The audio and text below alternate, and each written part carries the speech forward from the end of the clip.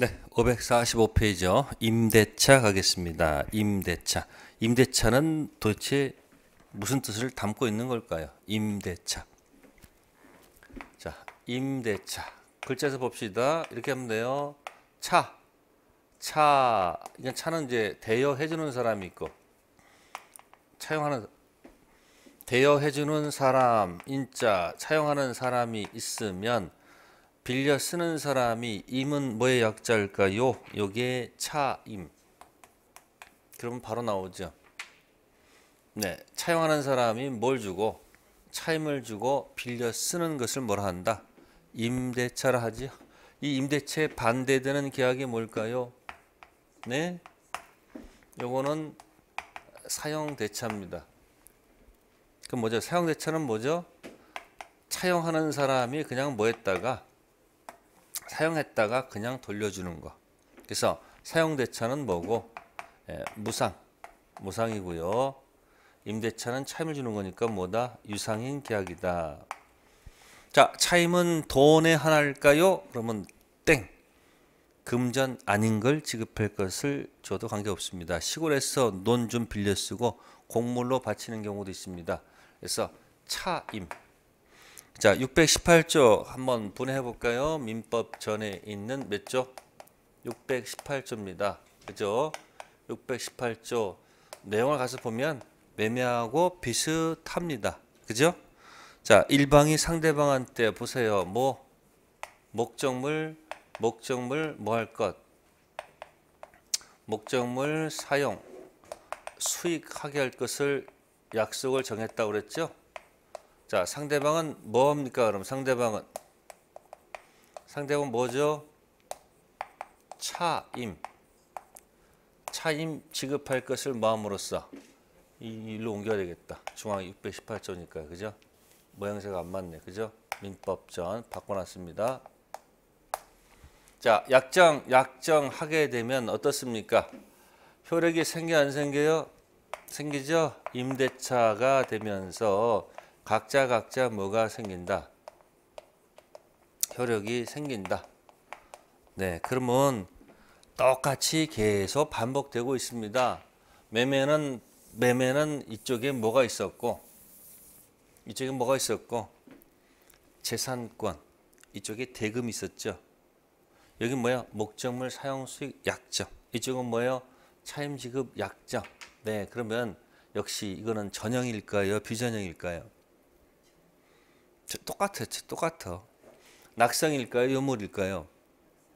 낙성이겠죠. 청약 승낙이니까. 그럼 어떤 효력이 생깁니까? 갑은 뭐 달라? 반대 거. 뭐 달라? 예, 차임 달라라는 뭐가 생긴다? 채권적 효력이 생기고 이쪽은 뭐 달라? 아니 저 목적물 있죠. 목적물 뭐 해달라? 그래요. 목적물 사용 수익 해달라는 뭐요? 채권적 효력이 생긴다 그 얘기예요. 그죠? 그러면 이 목적물 사용 채권, 목적물 사용 수익 채권을 갖다가 고친 말이 뭔지 아세요? 네? 이걸 임차권이라고 한 거예요. 무슨 권? 그러면 임차권은 2편 물건일까, 3편 채권일까? 네? 채권이죠. 이게 채권이라고 이게 채권, 목적물 사용 수익 채권을 뭐라 한다? 임차권, 채권이라고요. 그러면 여러분들이 물건 빌려 쓰는 방법 중에 용익 물건이 있었죠. 그죠? 그러면 물건 형태로 빌려 쓰는 방법도 있고 모두 있다. 채권 형태로 빌려 쓰는 방법도 있다. 그 얘기입니다. 채권입니다. 그러면 이제 사용 수익을 이 사람이 이 사람한테 요구하는 권리니까 이제 이거 가지고 이거 가지고 물어보는 거야. 이거 가지고 그러면 수선 유지는 누가 해야 되는 거야? 수선 유지는 네 수선 유지는 채권이니까 누가 갑이 해야 되는 거예요? 의리해야 되는 거예요? 네, 의리할 게 아니고 누가 하는 거다? 갑. 그럼 의리 명칭이 뭐죠? 임차인이 아니고 누구다? 임대인. 그럼 이때 갑은 적극적 의무다, 소극적 의무다. 네? 갑은 적극적으로 나서야 된다 그 얘기예요. 아십니까? 적극적 의무가 있다는 얘기예요. 그러니까 어떻게 됩니까? 첫 번째 첫 번째 목적물을 뭐 할 의무가 있는 거예요? 네? 목적물 할- 인도할 의무가 있는 거 없는 거예요? 있어요. 그래서 여러분들이 임대인의 의무 중에서 목적물을 먼저 뭐 해야 되고 네? 이쪽에다 인도할 의무가 있죠. 두 번째, 두 번째는 이 사람이 뭐 할 수 있도록 사용, 수익할 수 있도록 무슨 의무를 부담하는 거예요? 예? 수선 의무를 부담하고 세 번째, 방해 제거 의무가 있는 거 없는 거예요? 방해 제거할 의무가 있는 거예요. 왜? 적극적으로 나서야 돼요. 목적물을 뭐 하고 인도하고 그 다음에 인도하고 땡 치는 게 아니죠. 또 무슨 의무도 부담해요? 수선 의무도 부담해야 되고 또 이쪽이 방해 받으면 방해 제거 의무가 있는 거예요. 적극적 나섭니다. 그럼 이것을 여러분들이 전세권 가면은 주인은 소극적 의무로 바뀌겠죠. 반대니까. 네. 그 다음에 두 번째 수선 유지에 들어가는 비용이 뭐냐면 필요비예요. 무슨 비? 그럼 필요비를 누가 지출해야 되는 거예요? 필요비를 갑이 지출해야 될 거 아니에요. 근데 만약에 필요비를 누가 지출하게 되면 필요비 지출을 원래 누가 해야 되는데 갑이 해야 되는데 만약에 을은 할 필요가 없는 거 아니에요. 수선 유지가 누구한테 있는 거니까 갑한테 있는 거니까. 근데 만약에 만약에 필요비를 갖다가 누가 지출하게 되면 을이 지출하게 되면 당연히 뭐예요? 필요비를 뭐 해달라고 이거 달라라고 상환을 요구할 수 있어야 돼 없어야 돼요? 있죠. 자 지출 즉시 상환 요구다 아니다 이쪽에서 달라고 할 때 목적물 반환 요구할 때 상환 요구할 수 있다 고르세요.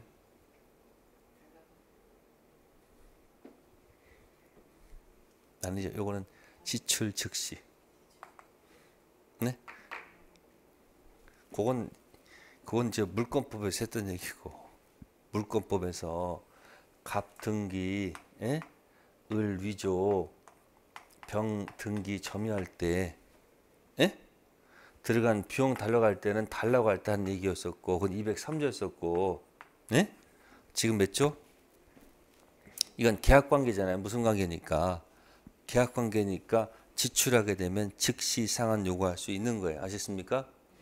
다음 임차권 양도할 때는 임차권 뭐 할 때는 양도할 때는 동의 없이 할 수 있는 거예요. 동의를 받아야 되는 거예요. 갑에 갑에 뭘 받아야 돼요? 동의를 받아야 된다는 거예요. 물건 아니고 뭐이기 때문에 채권이기 때문에 채권 관련된 지금 세 가지 있죠. 수선 유지를 필요비 상환 즉시 요구할 수 있고 임차권 양도 전달 때는 주인의 동의 얻어야 되는 겁니다. 이거 전부 다 어디서 온 거예요? 채권에서 온 겁니다. 아시십니까? 네, 이런 특질을 가지고 있다 그 얘기예요. 자, 그러면 이제 책 순서 따라서 한번 가보도록 하겠습니다. 임대차, 자 페이지 545 페이지 618조. 네, 그래서 이 임대차는 채권이지요. 뭐다? 채권. 그래서 보호가 좀 불안전합니다. 그래서 임대차에서 보호하기 위해서 특별법이 만들어지죠. 그게 뭐예요? 주택 임대차하고 뭐다? 상가 건물 임대차. 그러면 임대차 종류는 임대차 문제가 나오죠. 그럼 볼 때 종류가 크게 세 가지야. 첫 번째, 그냥 일반법으로서의 일반법, 일반법, 민법 임대차 문제가 있고요. 그 다음에 응? 특별법 가서 특별법 가서 주택 임대차가 있고요. 무슨 대차요? 주택 임대차가 있고요. 또 법이 만들어졌죠. 특별법이 또 있죠. 무슨 대차? 네, 상가 임대차. 그 종류가 몇 가지? 세 가지. 시험 볼 때 일반법 임대차에서 한 두 문제 정도, 그죠? 주택 임대차는 그냥 하나 정도. 상가도 몇 문제? 한 문제 정도. 네? 그렇게 해서 시험 볼때 어, 임대차 문제가 어떤 건지를 구별해 놓고 시험 문제를 풀어야 됩니다. 네, 그래서 밑에 임대차 성립의 성립의 1번 당사자 합의 또 차임에 관해서는 반드시 정해집니다. 차임 지급은 요소입니다. 근데 조심할 게 뭐냐면 618조에 보증금 지급은 없죠. 네? 그러니까 시험에 보증금 지급은 요소다 그러면 맞다 틀리다? 틀려요. 뭐는 요소지만 차임은 요소지만 거기 보증금 지급이란 말은 없잖아요. 단 현실적으로 보증금을 자꾸 주인이 달라고 하죠. 혹시 임차인이 뭐 안 낼까봐 차임 안 줄까봐 그걸 담보 형식으로 받아내는 것 뿐입니다. 어쨌든 보증금 지급은 요소는 아니에요. 근데 뭔 요소다? 차임 지급은 요소입니다. 그 다음에 세 번째 거 타인의 물건도 임대차 할 수 있다 없다? 있죠. 아까 여러분들 타인 물건 관리도 팔아먹는데 타인 물건 같은 경우 임대차 못 하겠습니까? 가능한 거예요. 그 다음에 맨 밑에 4번 임대차 차임 지급은 요소입니다. 그러나 금전에 하나지 않는다는 거. 네. 자, 다음 페이지에 있는 소비대차, 사용대차는 생략하겠습니다. 다음에 이제 임차권에 뭐가 있다? 물권화. 임차권은 무슨 화? 물권화. 몇 페이지요? 547페이지. 자, 거기 보시면은 일반법 임대차는 굉장히 약합니다. 자, 보통 일반법 임대차는 보통 등기를 해줘야 안 해줘요? 등기 안 해주거든요. 그러니까 이 임대차는 무한된 임차권이에요, 보통. 예? 등기 안 된 무슨 권이에요? 임차권이에요. 그러니까 등기 안 된 임차권은 주인이 바뀌면 새 주인한테 뭐 할 수가 없어요. 대항할 수가 없어요. 그래서 등기된 임차권은 뭐다? 네? 뭐가 됐을 때 매매가 됐을 때 새로운 누구한테 매수인에게 뭐 할 수 없다는 거예요. 대항할 수가 없습니다. 아셨습니까? 주인 바뀌면 그래서 뭐 할 수 있도록 네? 대항할 수 있도록 해주기 위해서 뭐 한다? 조문상 일단 등기 가능성 열어놨어요. 거기 621조 있습니까? 몇 조요? 6, 547페이지에 621조 있잖아요. 예? 임대차 뭐 할 수 있다? 등기 가능성을 열어놨어요. 근데 이 임차권은 621조에서 뭐예요? 등기 가능성이 있는 거지 꼭 등기해야 되는 건 아니거든요. 따라서 만약에 임차권을 뭐 한다면 등기한다면 그때는 뭐 할 수 있어요? 등기할 수 있겠죠. 아니 대항할 수 있겠죠. 그러면 등기 안 된 임차권하고 등기된 임차권의 차이가 뭘까? 보세요. 등기 안 된 거, 등기된 임차권이 있으면 물론 이제 새로운 주인한테 대항할 수 있다 없다는 당연한 것이고 결정적인 것은 등기 안 된 임차권은 네? 네, 물청이 없다는 거예요. 뭐가 없다고요? 그럼 만약에 뭐가 돼 있으면 등기돼 있으면 물권 하니까 임차권 기초는 뭐가 있다는 거 물청을 인정해 줄 수 있다 없다? 있다는데 한번 차이가 있을 겁니다. 그래서 621조는 큰 의미는 없어요. 주인이 해줄까 안 해줄까? 잘 안 해줍니다. 그래서 할 수 없이 임대차에서 주인들이 잘 뭘 안 해주니까 등기를 기피하잖아요. 그래서 무슨 법 만들어서 그래서 특별법 주택임대차에서는 뭐 하지 않아도 네? 등기하지 않아도 가서 예, 전입신고 가서 뭐 한다? 이전 받아서 그죠? 주민등록 주택을 뭐 받고 그러니까 이사 가서 주택을 뭐 받고 인도 점유하고 플러스 가서 무슨 등록을 하면 주민 등록하게 되면 그 다음 날부터 재앙할 수 있도록 길을 터줬다는 거. 또 그러면 상가는 뭡니까? 뭐 해주지 않아도 등기하지 않아도 일정 기준 금액 하 환산 보증금 이하를 전제해서 여기 이제 건물을 뭐 받아서 인도 받아서 가서 여기는 주민등록이 아니고 뭐다? 여기 이제 사업자 등록을 하게 되면 그 다음날 오전 0시에 그때부터 뭘 갖춘다? 대항력을 갖춘다. 그래서 물권화를 자꾸 시켜줍니다. 약자를 뭐한다? 보호한다. 라는 취지가 있는 겁니다. 자, 그래서 임차권 등기 가능성 있다는 것 621조가 있고요. 그 다음에 이제 622조가 있어요. 몇 조요? 622조는 이런 겁니다. 아, 토지를 임대차 했어요. 무슨 대차요? 토지를 임대차 했는데 주인이 이 토지 임차권을 등기해 줄까 안 해줄까? 등기를 잘 안 해주겠죠. 그러면 갑은 무슨 권이 있고 소유권이 있고 을은 다시 당연히 무슨 권이 있어요? 토지 임차권이 있어요. 예? 그럼 이 토지 임차권을 주인이 등기해 준다 안 해준다? 안 해줘요. 그러면 임차권을 뭐 하지 않았지만 등기하지 않았지만 을이 임차권 다음에 건물을 신축하는 경우가 있어요 없어요?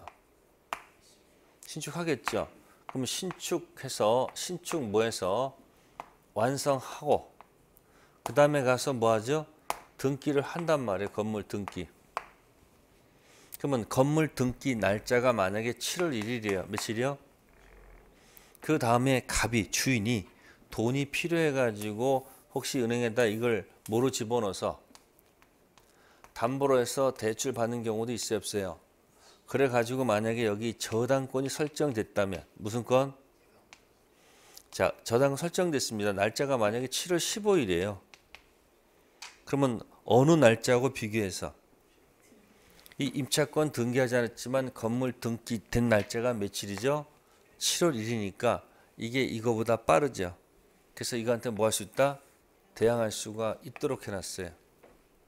그래서 저당권이 뭐가 돼도 실행돼도 새로운 주인한테 대항할 수가 있습니다. 비록 뭐는 하지 않았지만 토지 임차권은 뭐 하지 않았지만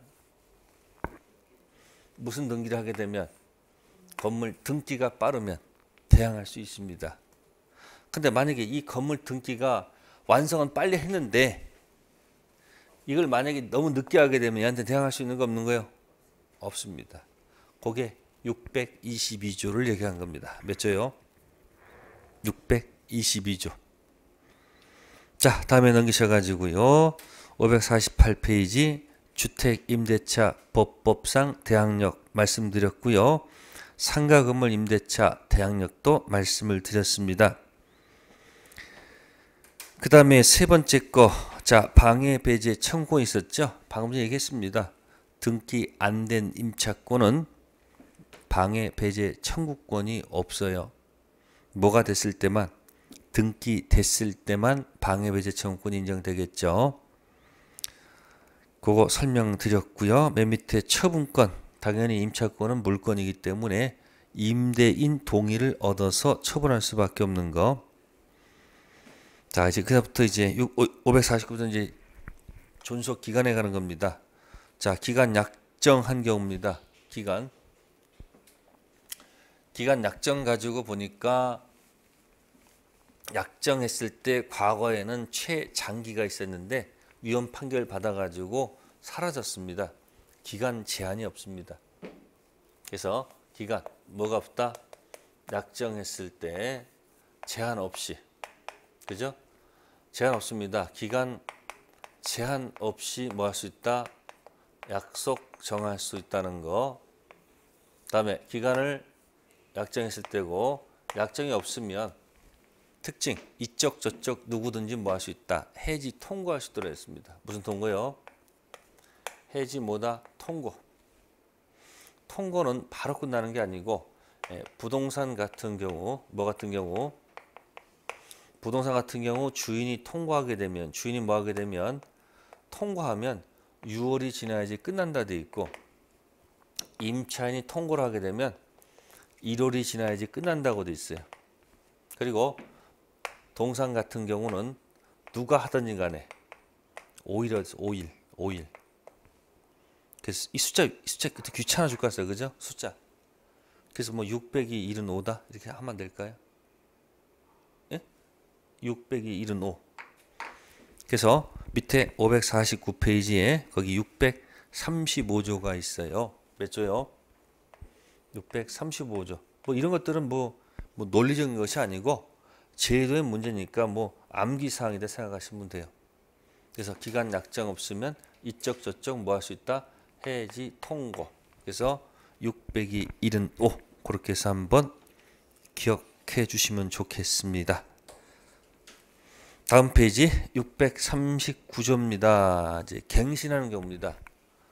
그러면 약정 그렇다 하더라도 갱신은 두 가지가 있습니다. 무슨 갱신이 있고 약정 갱신이 있고 또 하나는 네, 법정 갱신이 있겠죠.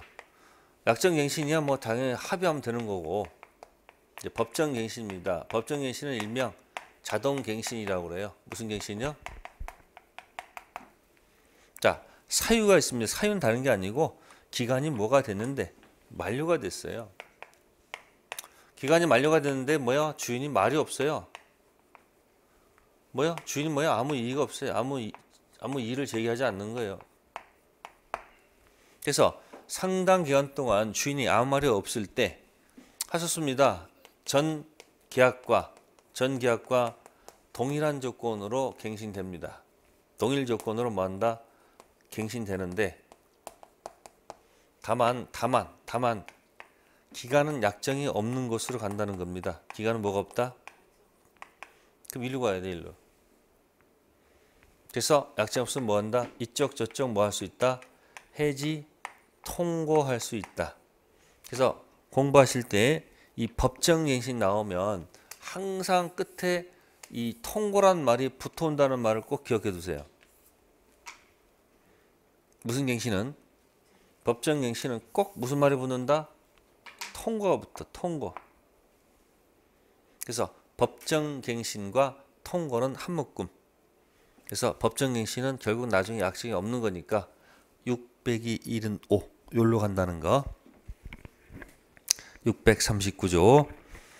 자, 자동 갱신됐을 때 639조 2항에 보시면은 제3자가 제공한 담보는 기간 만료로 해서 뭐 한다? 소멸하겠죠. 그래서 해지 통고에서 법정 갱신된 경우는 제3자가 제공한 담보는 소멸하고 아, 스스로 제공한 담보는 소멸하지 않을 것이다. 자, 해지 통고 법정 갱신과 같이 묶어 두시고요. 네. 다음에 이제 551페이지 임대차 효력이 있습니다. 임대인의 권리가 있고 임차인의 권리가 있겠죠. 자, 552페이지 가십시오. 552페이지 임대인의 의무가 있습니다. 누구의 의무? 페이지 552페이지 주인의 의무. 자, 623조에 나와 있습니다. 목적물을 임차인에게 인도란 말이 있습니다. 그래서 먼저 여기 나왔네. 목적물 인도할 의무가 있다는 거. 첫 번째. 다음, 니은 수선 의무가 있습니다. 무슨 의무? 적극적으로 나서야 됩니다. 수선 의무가 있고 그 다음에 우측에 디귿 방해 제거 의무가 있다는 거죠. 무슨 의무요? 이건 적극적 의무를 얘기합니다. 그 다음에 이제 수선 의무 가지고 있는데 이 수선 의무 관련된 이 규정은 강행 규정이 아니에요. 무슨 규정이 아니다? 강행 규정이 아니고 임의 규정이기 때문에 그죠? 자, 주인은 수선 의무 수선 의무를 면제받는다. 이 특약도 뭐하다? 유효합니다. 지금 뭐하다? 유효한 겁니다. 단 한계가 있습니다. 이 유효는 소규모 수선까지만 유효합니다. 여기까지 유효하지. 대파선 수선, 대수선은 여전히 누구의 의무다? 임대인의 의무라는 거. 그래서 552페이지 보시면 맨 밑에 맨 밑에 D 있죠. D. D. 소규모 수선의 하나고 이렇게 되어 있습니다. 맨 마지막에 대파선 수리 건물의 주요 구성부에는 대수선, 기본적 설비분의 교체 등 같은 대규모 수선은 이에 포함되지 않고 여전히 누구 거다? 임대인 것. 그러니까 계약서에다가 수선 의무를 누가 부담한다? 주인이 아니고 누가 부담한다? 임차인이 부담한다는 특약을 맺어도 소규모 수선까지 면제지 대파선 수선은 여전히 누구의 의무? 임대인이 부담한다는 것이 판례의 태도죠. 그리고 우측에 판례 있죠. 임차인 안전 배려 도난 방지 보호 의무가 있을까 없을까? 없습니다. 이거 만약에 인정하면 어떻게 돼요? 주인들은 임차는 전부 다뭐 달아줘야 될까? 예? 뭐 달아? 세콤? 다 달아줘야 될 거요? 안 되죠. 그래서 도난 안전 배려 의무는 없습니다. 자, 그래서 임대인의 의무 세 가지 3대 의무를 한번 생각하고요. 다 임차인의 권리가 있습니다. 자, 1번의 기억에 임차권은 채권으로 구성한다고 됐죠. 임차권 물건이다 채권이다 아까 예? 이거 채권 채권이 채권 채권 그래서 채권에서는 물청이 있다고 그랬어요 없다고 그랬어요. 없다고 그랬죠. 단 등기가 되면 예외적으로 있다 이겠습니다. 자 그 다음에 넘겨볼까요? 자 드디어 626조가 나왔습니다. 임차인의 무슨 청구권? 상한 청구권 나왔습니다. 몇 조요? 626조. 시험에 나온다. 가정의 두기. 몇 조? 626조 몇 페이지 있습니까? 네? 554페이지에 있죠? 자 거기 임차인 보니까 1항에서 임차인은 필요비 상한 청구권이 있습니까 없습니까? 있죠? 원래는 누구 의무인데 주인의 의무인데 임차인이 만약에 뭐 지출하게 되면 네 필요비를 지출하게 되면 이건 기다릴 필요가 없어요. 바로 뭐 한다? 즉시 상환 요구할 수 있다는 거죠. 그러나 무슨 비는 가치를 증가시킨 무슨 비는 위익비를 지출하게 되면 이건 바로 달하면 안 되죠. 지금 무슨 중이기 때문에 존속 중이니까 이건 직실한 말씀은 논리가 안 맞고 그죠? 언제 기간이 일단 뭐가 돼요?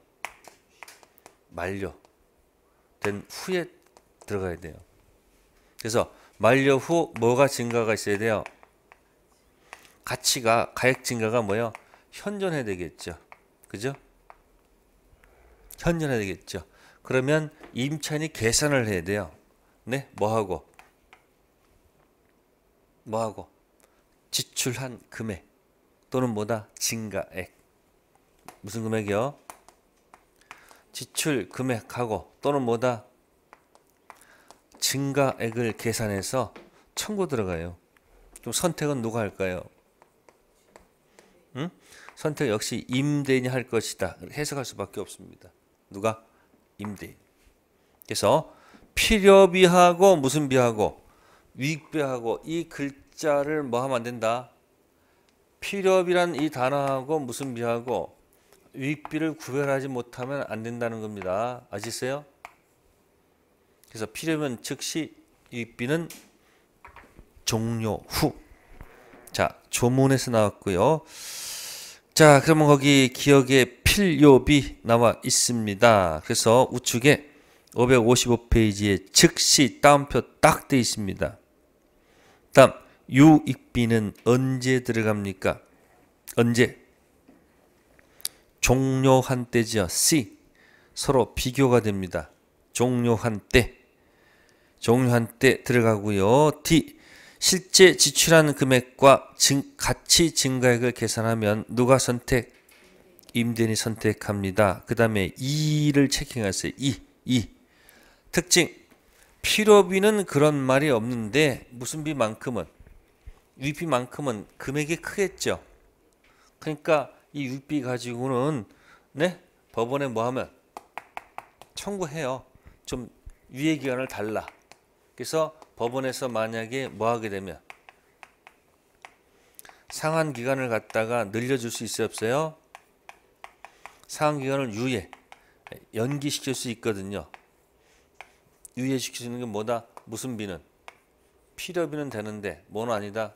아 유익비는 되는데 뭘 아니다? 필요비는 아닙니다. 그래서 여러분들 유입비 가지고 유치권 행사할 수 있는 거 아세요? 네? 유입비 가지고 무슨 권? 여 글자 맞추기 글자 맞추기 필요 유입비 있잖아요. 유입비 가지고도 무슨 권? 유치권 들어갈 수 있습니다. 그래서 니은에 니은에 이 있죠. 법원은 필요비가 아니고 무슨 비? 유입비 상한에 대해서 상당한 기간을 모할 수 있다. 허용할 수 있습니다. 자, 이러한 경우에 유입비 상한 청구권은 채권 변제기가 도래하지 않았기 때문에 무슨 권? 유치권 행사할 수는 없다는 거. 그 다음에 D 체킹하세요. 디귿. 자, 행사 기간입니다. 혹시 아까 필요비는 즉시고 유입비는 종료 후라고 그랬죠? 근데 임차인이 그런 걸 행사하지 않고 목적물을 그냥 반환하는 경우도 있어요, 없어요? 있죠? 목적물을 만약에 반환했으면 마지막 데드라인이 언제냐면 언제다? 반환 날부터 몇 개월이다? 6개월. 자, 6개월 옆에다가 이렇게 쓰세요. 필요비, 유입비. 무슨 비, 무슨 비? 필요비, 유입비. 글자가 몇 개예요? 여섯 개네. 이것도 몇 개월? 6개월. 아까 물건 하자 있었죠? 선임인 무과실도 몇 개월? 6개월입니다. 자, 626조 꼭 좀 기억해 두셔야 됩니다. 왜 626조가 중요할까? 203조랑 연관이 있었어. 몇 조요? 203조. 그래서 그 다음 페이지에 그 문제가 있어요. 556페이지에 문제가 있어요. 거기 203조하고 626조 관련된 문제예요. 갑은 을한테 거기 유집 4억 원에 임대했습니다. 기간 중 을은 유집이 200만 원, 계량비 얼마? 800만 원을 지출했습니다. 그 후 임대인의 지위를 승계시키지 않은 채 X 건물을 누구한테 병한테 팔았다 그 얘기예요. 자, 이쪽 그림 보세요. 그냥 바로 그림을 해결해 드릴게. 갑의 건물을 을이 뭐했어요? 임대차 했습니다. 자, 거기 보시면은 유지비가 있고 계량 비용이 있죠. 그러면 임대차에서 을이 무슨 비도 지출하고 필요비도 지출하고 무슨 비도 유입비 지출했죠? 근데 갑이 팔았어요. 누구한테? 병한테 팔았다는 얘기예요. 승계시키지 않은 채. 이때 을은 을은 203조를 가지고 몇 조를 가지고 203조는 점유자 회복자 얘기입니다. 자, 203조는 제목이 뭐라고요? 203조는 점유자가 있고요. 주인이 회복자가 있어요. 이 둘은 무슨 관계가 아니다. 계약 관계가 아닐 때 쓰는 조문이고요. 자, 626조는 이건 계약 관계죠. 누구하고 누구요? 임, 대인하고 누구요? 임차인 얘기예요. 아시습니까? 이건 무슨 관계가 아닐 때? 계약 관계 아닐 때 아까 아까 살짝 했었잖아요. 뭐 갑등기, 을위조, 병등기, 점유. 그래서 갑이 병한테 등기 지워 점유 내놓으라 할때 병이 뭐야? 그냥 못 주지. 그동안 점유했던 들어간 비용 달라고 될거 아니에요. 그러면 갑등기, 을위조, 병등기, 점유는 갑하고 병은 아무 계약 관계가 아니잖아요. 그럴 때 쓰는 전문이 몇 조다? 203조고 지금은 계약 관계잖아, 계약 관계. 따라서 임차인 을은 몇 조를 들고서 203조 들고서 누구한테도 공격할 수 없고 병한테도 공격할 수 없고 갑한테도 공격할 수가 없는 거예요. 이 조문은 계약 관계가 아닐 때 쓰는 조문이니까. 자, 을이 지출한 것은 여기 계약 관계 임대차에서 지출한 필요비비는 몇 조 얘기예요? 몇 조? 626조 얘기란 말이에요. 몇 조? 그러니까 626조 가지고 채권이니까 여긴 관계가 없는 거고 누구한테만 갑한테만 공격하는 거예요. 그래서 거기 보시면은 문제 보시면 그 문제 보시면 1번에 거기 2번하고 거기 5번이 비교가 되는 거예요. 1번에 2번은 X 건물 반환 청구하는 세주인 병에 대해서 을은 점유자 비용 상한 청구권 203조에서 비용 상한 청구할 수 있다 그러면 틀린 겁니다. 아시겠습니까? 몇 조 들고 가야 돼요? 5번 있잖아요. 5번. 을은 임차인 비용 상한 청구권에 기해서 임대차 종료 시 종료 시 가액 증가가 현저한 때 가반태 유입비 상한 청구할 수 있는 거죠. 그럼 거기 몇 번하고 몇, 몇 번이 비교가 돼요? 2번과 몇 번? 5번이 딱 비교가 돼요. 그래서 가서 203조도 한 문제고 몇 조도 한 문제다. 626조도 한 문제예요. 두 문제짜리입니다. 아셨습니까? 네. 그게 이제 임차인의 뭐다? 비용 상한 청구권이고요. 그 다음에 이제 557페이지는 이제 건물 임차인의 이제 부속물 매수권입니다. 무슨 청권이요? 부속물. 그럼 이제 매수권은 두 가지가 있어요. 무슨 물하고 무슨 물이 있다. 지상물이 있고요. 부속물이 있어요. 뭐하고 뭐? 자, 토지를 임대차 했다 하는 것하고 건물을 임대차 했다는 얘기는 같아요, 달라요? 다르죠? 그래서 무슨 대차는? 미안하지만 에어컨 좀 꺼줄래요? 토지 임대차. 토지 임대차 하고 무슨 대차? 건물 임대차가 있습니다. 그러면 토지 임대차 같은 경우는 빈 토지를 빌린 거 아니에요. 그럼 토지를 임대차게 되면 토지 임차인이 토지 임차인이 그 토지 위에다가 뭔가 뭐 건물을 신축할 거 아니에요. 토지 임차인 만약에 건물을 신축했으면 이 건물은 누구 거죠? 것을 많이 했다면 을 거 아니에요. 그럼 우리 나중에 이 건물을 사라 말아야 될 거 아니에요. 갑한테. 그럼 을이 요구하는 것은 당연히 무슨 얘기예요? 지상물 사라란 지상물 매수 청구권 이야기지 부속물은 아닐 것이다 그런 얘기예요. 근데 갑의 건물을 뭐 했으면 임대차 해가지고 이건 건물 임차인이 그죠? 건물 임차인이 혹시 만약에 여기다 건물을 중축했어요. 뭐 했다고? 건물은 뭐 했다고요? 중축을 했다고. 건물, 건물 중축했을 때 이게 만약에 이제 독립성이 있다면 이때 쓰는 말은 뭐다?